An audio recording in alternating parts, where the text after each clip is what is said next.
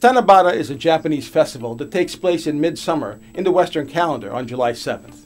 We encourage you to experience Tanabata, the Star Festival, which takes place on the seventh day of the seventh month.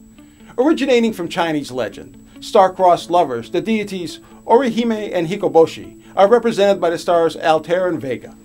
The pair are usually separated from one another by the Milky Way galaxy and are only able to meet once per year on this day. When Tanabata observances began in Japan, aristocrats in the imperial court would celebrate by writing verses as they gazed up at the stars.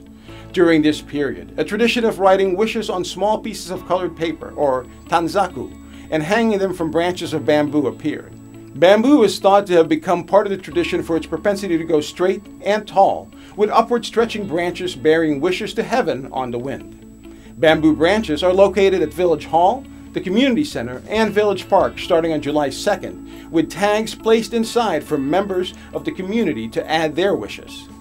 The branches will remain until July 9th. We also invite you to enjoy a Fushu Daiko Japanese Taiko drums performance on July 7th at Village Park.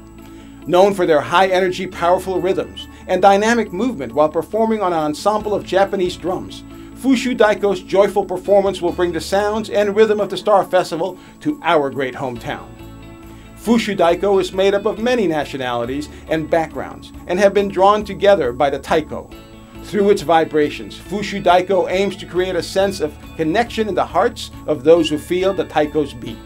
For more information on this event, visit wellingtonfl.gov forward slash Tanabata. Our goal is to highlight a variety of holidays and cultural traditions to embrace Wellington's diverse demographic and create a sense of awareness and pride for the differences within our community. Join us in celebrating our diversity by participating in our multicultural events throughout the year.